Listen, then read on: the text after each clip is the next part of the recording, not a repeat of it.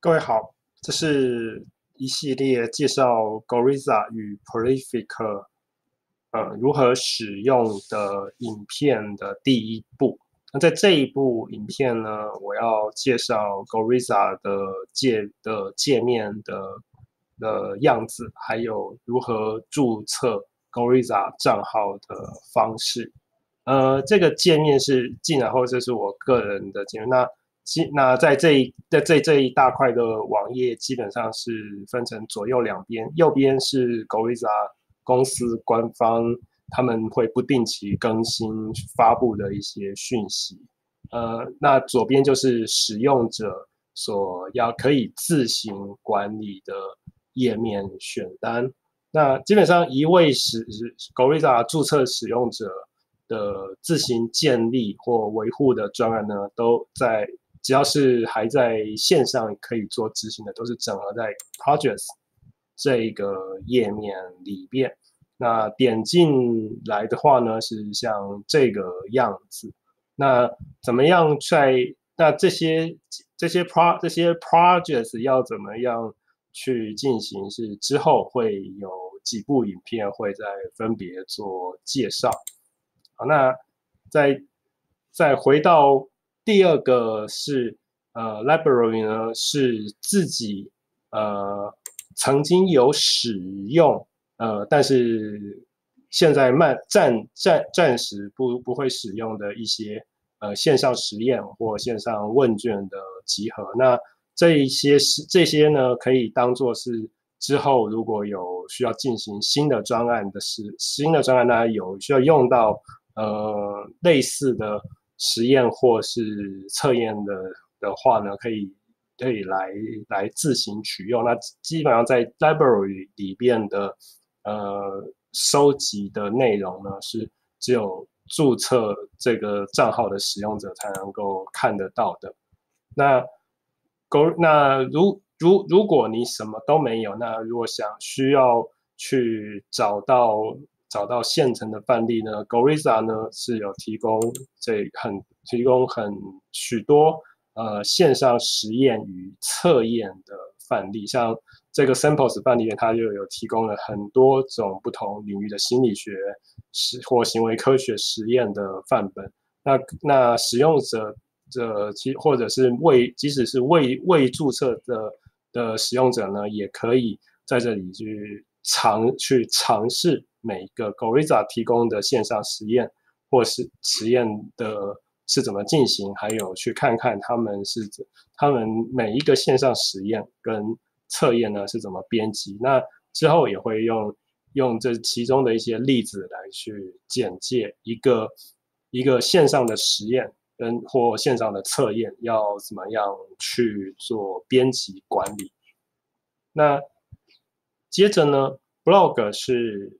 Goriza 官方会不定期发表一些比较长篇的评论文章，那有兴趣的话呢，各位可以自行去点进去看，去去看看。那 Open Materials，呃，其实是是相对于 Samples，是是由呃世界各地 Goriza 的注册使用者，因为很多人都很多注册者也都是呃行为科学的研究人员或者是调查者。那那大那大啊，现在很多人都很愿意就是。就是就是公开的把自己使用过的一些线上实验材料呢，把它给分享出来。那之后呢，我也会用我自己已经已经完成的一个研究的专案呢，来跟各位呃介绍要如何那个运用这个 Open Materials 的材料来去呃管来来去建立自己的专案。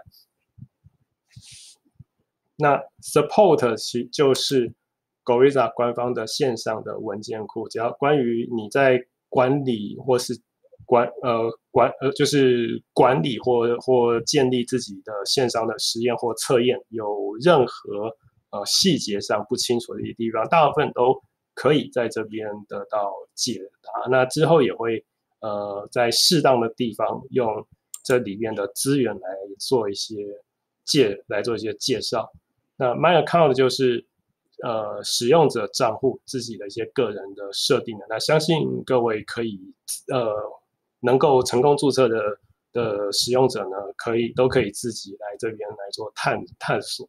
那最后呢，呃，要介绍一下怎么样要怎么样注册那呃 Go Goriza 的账号。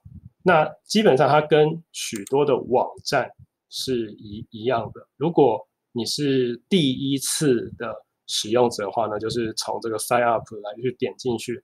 呃，但是呢，我不不，我并不建议各位这么做。那我是建议各位，如果你是个别的研究者或者是小型的组织研究者，需要收集大大量资料资料的的个人或研究组织的话呢，请从呃这个影片的说的说明或者是相关的。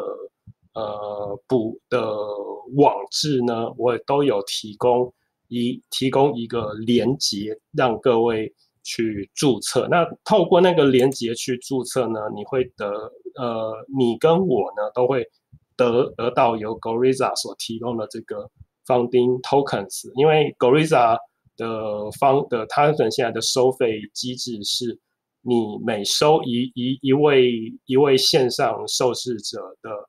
那个资料呢，就需要付一个 tokens。那如果有一有先能够能够拿拿拿到一些 tokens 的话呢，就就可以替自己稍微省下一些呃收集资料所要花的经费。那如另如果说你是呃在官方网页上面所列的这些。呃，学校或研究机构的人员呢，那可以跟你的这个单位呢去联系，问问看有没呃如何去使用在这个单位中中的那个 Go 的那个 Gorilla 所提供的研究人员的账号。好，这是第一部分的介绍影片。